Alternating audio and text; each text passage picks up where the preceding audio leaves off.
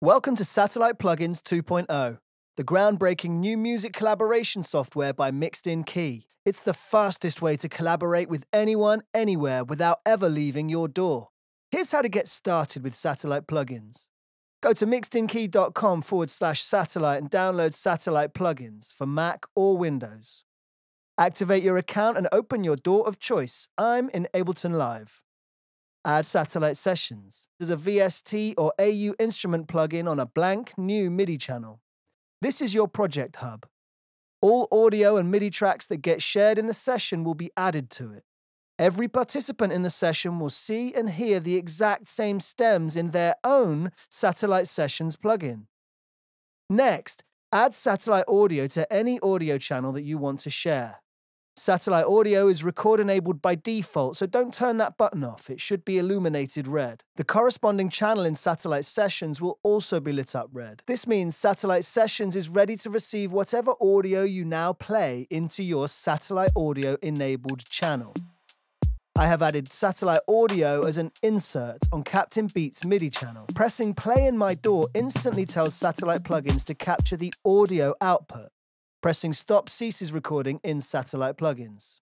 You can add any additional audio you like by adding satellite audio to the corresponding channel. This includes VST instruments and external devices such as hardware synths, guitars, vocals, you name it. I'm going to record a simple chord progression played on my Korg Minilogue XD. To do this, I add satellite audio to an audio channel. This time, it's an external audio channel. For external instruments, please ensure your DAW is set to input monitoring.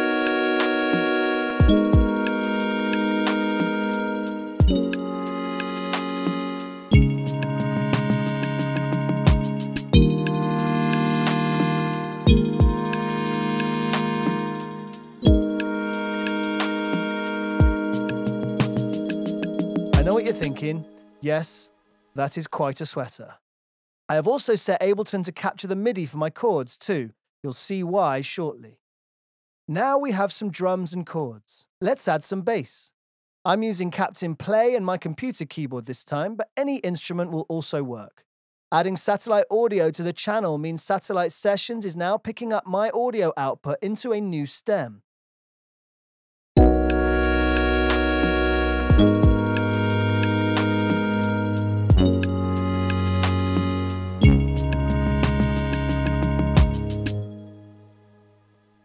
Ready to go nuts? We can do this with MIDI too. I'm using the MIDI from my bass and chords. Next, I add satellite MIDI to the blank MIDI channel with my MIDI on it. Pressing play in the DAW, Satellite Sessions is now picking up the MIDI.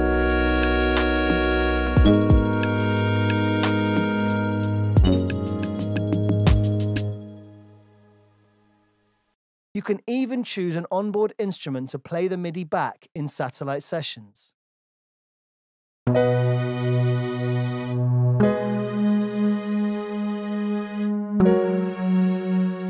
Now let's collaborate. I want to invite a guest, so I click Invite in the top corner of Satellite Sessions. Simply enter the email of your chosen guest and select their privilege level, or copy the session invitation and send it to them. This is James. He's over in Brazil. God, he's handsome. James enters that unique session ID. Then he can download any stems from Satellite Sessions straight into his DAW. For this example, James downloads the MIDI files for chords and bass to replay in new instruments. Using the MIDI from my Ableton project to play Captain Plugin's instruments in his, he can quickly upload the new audio to Satellite Sessions.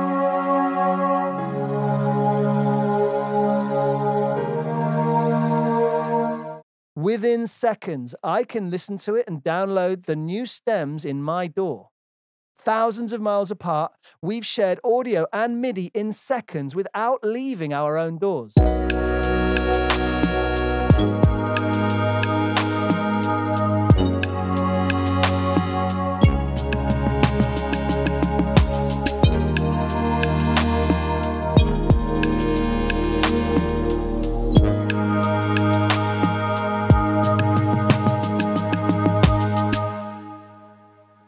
There are dozens of ways to use satellite sessions for ultra fast, high quality audio collaboration in your DAW. How will you use yours? Find out more at mixedinkey.com forward slash satellite.